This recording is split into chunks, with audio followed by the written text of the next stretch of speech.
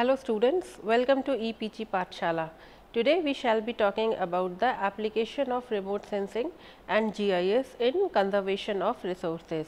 So far I assume you all are well aware of the principle of remote sensing as well as GIS and how these are used for various domains of environmental sciences. So, in this module we shall be studying about the need for the assessment of resources as well as the various domains their brief overview for example, uh, application of remote sensing and GIS in uh, maybe land resource management, wildlife mapping, coastal zone management, watershed analysis as well as a variety of other applications. However, we shall be dealing in detail in the other modules, but overall the purpose is to provide a brief overview so that we can understand the importance of these natural resources so that we can carry out their conservation practices. So, this module will help us understand the imp importance of resources and its management. In this module, we will also learn about the role of remote sensing and GIS in monitoring and conservation of natural resources. As you all know, the remote sensing program was started in the year 1970. So, the first satellite Landsat came in the year 1972, previously known as Earth Resources Technology Satellite. Till the year 1988, India had to use exclusively the data that was obtained from other satellites such as Landsat satellite of United States of America. India successfully launched its own satellite, Indian remote sensing series of satellites, the first of which was IRS-1A that was launched in the year 1988. This was followed by launching and operationalization of a series of satellites of IRS 1B, 1C, 1D and recently the satellites such as ResourceSat, Cartosat and OceanSat satellites. These satellites have higher resolution, higher repetitivity and more applicability in diversified fields. The easy availability of repetitive data in the temporal domain from remote sensing techniques provides a new dimension for spatial information processing and monitoring the features of the earth, thus generating a large volume of information. So, now the question arises why is there a need for the assessment of these resources? So, the assessment of the availability and the condition of the natural resources is the first step for the sustainable resource development plan. The, these natural resources play a critical role in the welfare of developing countries expansion in technology, population and economic activities have led to accelerated and unsustainable exploitation and depletion of natural resources. The degradation, especially forest cover, has led to diminishing soil fertility, soil erosion, increasing the severity of the impact of drought and a further reduction in the ability to produce food and other biological resources demanded by human and animal population. The natural resource management is a discipline in the management of natural resources with a particular focus on how management affects the quality of life for both present as well as the future generations. So, the induction of modern technologies of geospatial domains such as remote sensing, geographical information system that is GIS as well as GPS has provided us very powerful methods for surveying, identifying, classifying, mapping, monitoring, characterization and tracking the changes in the composition, extent and distribution of several forms of the earth's resources, both renewable and non-renewable as well as living and non-living in nature. Further, remote sensing also plays a significant role in providing geo information in a spatial format. So, the following processes are needed to assess the quantum of the resources. The first one is mapping which includes collection of thematic and quantitative baseline data. This data may be contemporary or historical. This data needs to be collected in a geographic format. The second one is measuring that is rigorous mapping process by quantifying and documenting the attributes of phenomena. The third process is modeling which is the process of describing a system under study through precise and typically mathematical relations of inputs and outputs and to simulate the present, past or future behavior. The last in the series is monitoring which is regular assessment of the conditions by recording the shifts or changes in natural phenomena and human activities. So, what are the material requirements or inputs for carrying out these assessment studies? As we know India has launched its INSAT series of satellites that is 1B, 1C, 2D, 2E as well as 3E which are in geostationary orbits. These satellites continuously send us data for conservation of resources and we also know that GIS it consists of two major com components the hardware as well as the software. The hardware part includes processing unit, plotter or a printer and graphic display system, while the software part includes ArcGIS, ILWIS, Idrisi, MapInfo and GRASS. So, a fully functional GIS system can be used to analyze the characteristics between layers to develop application maps or other management options. So, the following are the basic re requirements for mapping of the resources. The first one is topo sheet. Topo sheet that are used in India are Survey of India topographical maps that are used on a scale of 1 is to 50,000. These are generally considered as the base maps. The next one is thematic maps. Georeferenced topographical maps besides satellite data such as IRS 1D, panchromatic data and linear imaging cell sensing scanners, Google Earth, vegetation, forest covers, lithology, soil types, land use land cover and wasteland maps can be used as are utilized as thematic maps. The source of data for thematic maps may be Geological Survey of India or National Bureau of uh, Soil Survey besides land use planning. This remote sensing satellite data that are used for the study include IRS 1C 1D, LISS 3 and LISS 4, panchromatic data as well as Google Earth with a resolution higher than 5 meter. Some of the websites where the spatial data is freely available are Soil Data Mart, Data Gateway, Center for Geographic Information in Michigan, Geographical Management Systems, Indiana Geological Survey, United States Geological Survey popularly known as USGS and Great Lakes Information Network. Besides this, another requirement is of softwares. Once the data is downloaded, it is easy to evaluate the data with the help of software such as ESRI's ArcGIS, MapInfo or ERDAS Imagine softwares. So, now coming to the resource related issues in India, as we know the major problems that are related to resource conservation in India are uh, deforestation, soil degradation as well as loss of biodiversity. Deforestation of tropical lands has become an issue of uh, very significant importance. GIS helps us in getting the factual information on the rate, extent and the location of deforestation. By using GIS and remote sensing, one can be able to map deforestation rate, determine the causal factors and may also forecast the future risk maps. Such information is vital to provide guidance or regulation against inappropriate use of forest resources. The second category is of soil degradation. Soil degradation is one of the most important challenges that the mankind is currently facing. It affects the so soil quality and quantity of resources thus affecting the pro productivity. The soil becomes less able to support plant and animal growth as there is a decline in the level of available moisture and the nutrient reduces biological activity. Development of effective land degradation control program requires the identification of areas that are vulnerable to soil degradation process and quantification of volume of soil loss. GIS and remote sensing data can be used to identify areas that are at potential risk to extensive soil erosion, loss of vegetation cover etc.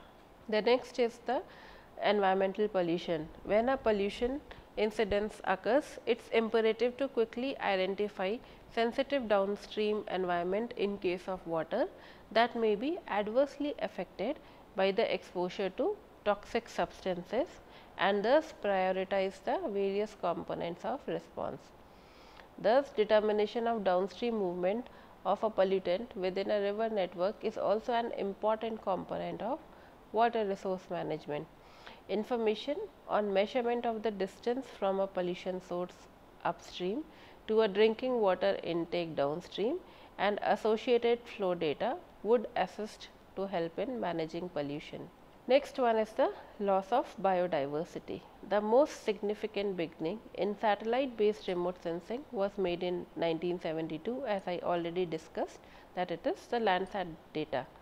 So, it was launched by National Aeronautics and Space Agency which paved the way for the modern remote sensing application in many fields. Data collected by Landsat 1 provided new hope especially to developing countries to monitor and manage their natural resources. As a result, an improved understanding of forest, crop, soil, urban growth, land degradation and many other features and processes could be easily identified. So, now let us look into the applications of remote sensing and GIS in resource management. Over the last few decades, remote sensing technologies has been increasingly used by the scientific community to describe and monitor a variety of systems both on local as well as global scales.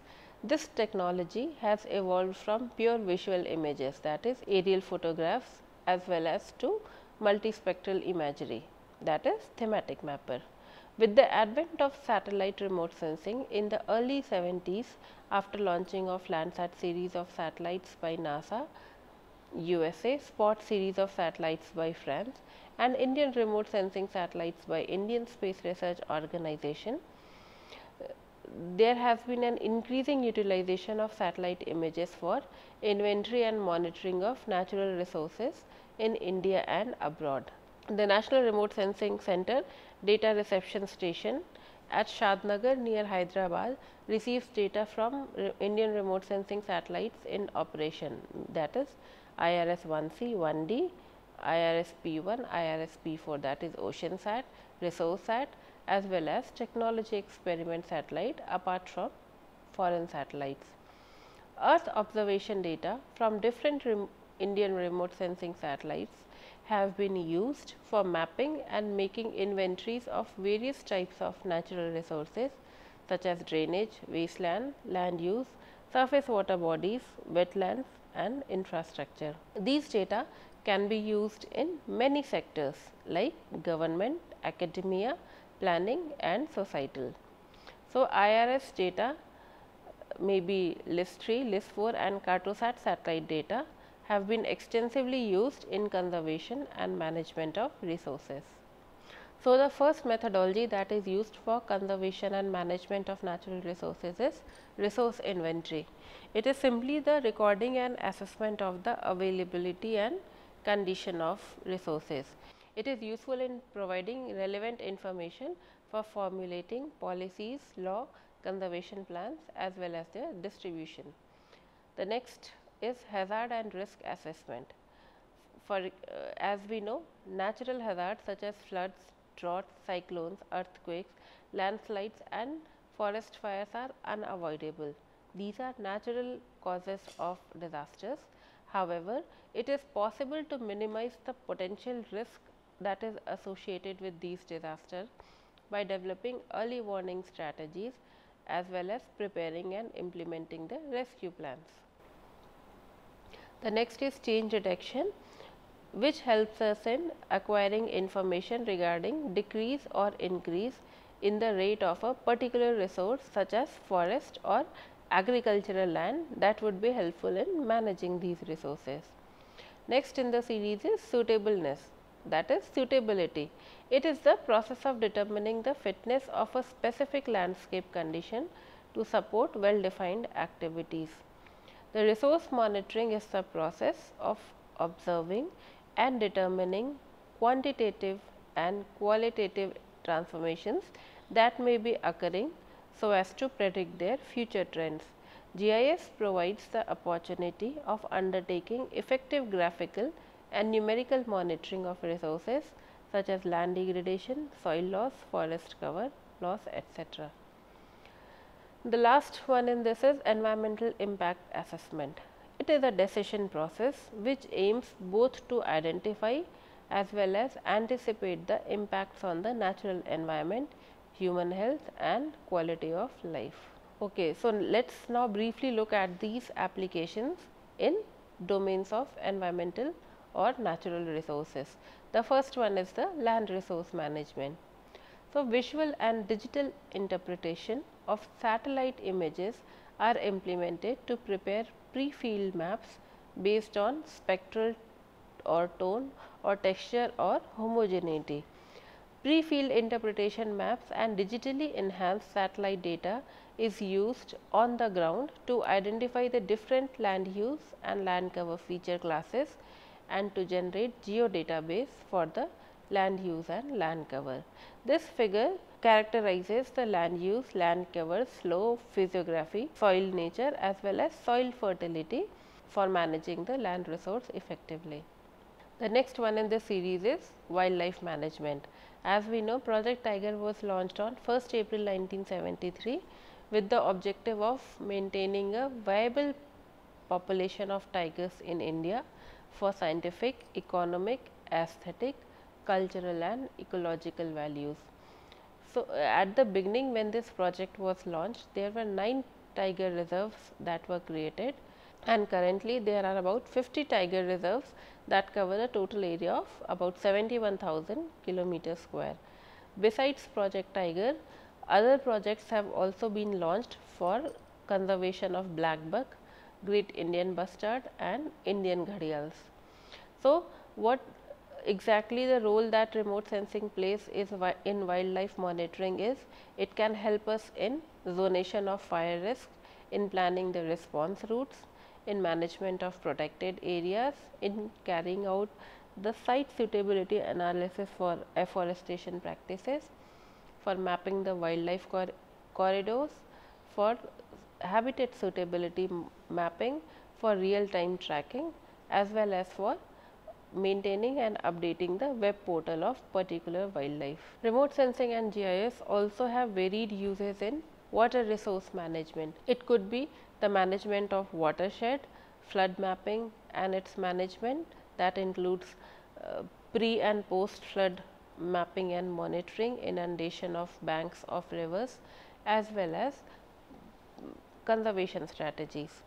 It is also used for hydrological modeling uh, as well as management of irrigation resources. Drought monitoring and rainwater harvesting is also an important application of water resource management.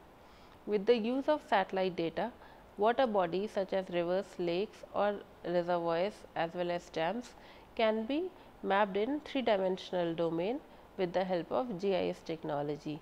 Thus, de decisions regarding the most effective means of utilization of any uh, region can always be arrived at incorporating both remote sensing and GIS. Now, coming to the next application that is coastal ecosystem management. Based on remote sensing, a variety of data pertaining to coastal zones can be collected such as identification of plant communities in coastal areas, biomass estimation, assessing the changes in shoreline, delineation of coastal landforms and tidal boundary, qualitative estimation of suspended sediment concentration and chlorophyll mapping. Satellite remote sensing has been found to be very valuable tool in monitoring the mangroves which can bring out the impact of deforestation on global climate. It, remote sensing and GIS can also be used for studying the coral reef ecosystems which are very sensitive ecosystems using LISS 2, LISS 3 as well as LISS 4 data of Indian remote sensing satellites. They also have varied applications in biodiversity management that includes flora as well as fauna especially within the protected areas using ground and aerial photographs. Aerial and satellite photographs can be used to determine the presence and distribution of vegetation within protected areas. These aerial photos can also be used to determine the presence and distribution of invasive species within an ecosystem. Aerial photographs can be used to ease the process of counting during animal census activities.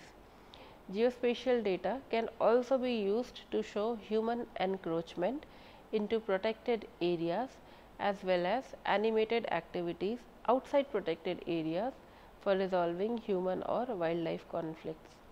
Finally, the use of GPS technology can be applied to monitor the movement of endangered species as well as newly introduced species to determine the progress and protect them from the poachers. Geospatial data can also be used to carry out EIA studies of various projects such as buildings, roads, pipeways and dams within protected areas to study their impacts. So, ne the next one is management of marine resources. When we come to marine resources, the most important application is in the potential fishery zone forecasting. An integrated approach for potential fishing zone based on chlorophyll as well as sea surface temperature has been developed, validated and transferred to Indian National Center for Coastal and Ocean Information Services for operational use.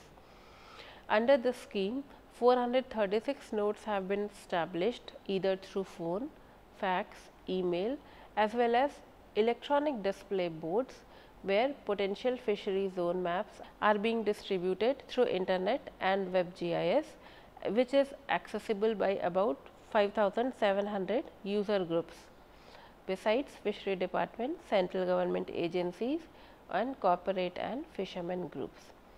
Additional information about chlorophyll has been derived from OceanSat 1 data that has introduced the important link of seafood chain and thus improved the accuracy of forecast for potential fishing zone. Besides, a third parameter that is the sea surface wind has also been incorporated which indicates the effects of currents on feeding grounds. This has also helped in improving the forecasting. This technology has also been used for uh, monitoring, mapping as well as management of wetlands. A scheme was launched by the Ministry of Environment and Forest called as National Wetlands Inventory and Assessment Scheme. The primary objective of this project or the scheme was to map the wetlands of India be it natural, be it man-made, coastal or inland at a scale of 1 is to 50,000 and thus create a database with a query shell. So, for this purpose digital analysis of two dates that is pre-monsoon and post-monsoon satellite data was carried out for uh, assessing the status of wetlands. As such wetland atlas of all the states has been prepared and hosted on the website of Ministry of Environment that is updated from time to time. Besides Uh, remote sensing and GIS is very effective in snow and glacier studies also. Glacier inventory of Himalayas that is Indus Ganga and Brahmaputra basins has been carried out besides monitoring of snow line at the end of ablation season for estimation of glacier mass balance estimation of retreat of Himalayan glaciers as well as snow cover monitoring. Glacial inventory has also been carried out for Indus, Ganga and Brahmaputra basins covering approximately 1250 map sheets at 1 is to 50,000 scale. Glacier mass balance studies were taken up for 10 selected medium size sub basins spread over Indian Himalayan region. The LISS 3 scenes were used to ascertain the boundary of glaciers using high resolution data. They were all overlaid on advanced wide field sensor scenes sequentially that is also called as AWiFS. So, dear students at the end of this module, I hope you would be able to appreciate the importance of natural resources, why is there a need for the assessment of these resources and how remote sensing and GIS can help us in conserving these re resources by means of providing us baseline data as well as mapping and monitoring of these data. So, in this module at we have also studied briefly the applications of remote sensing and GIS in various fields such as land resource management, wildlife mapping, coastal zone management, coral reefs, vegetation mapping, soil analysis. as well as biodiversity studies. I hope you would be able to appreciate the fact that by utilizing remote sensing and GIS technologies for environmental management, a sound decision can be arrived at incorporating all these parameters so that the resources can be conserved in an effective manner. Thank you.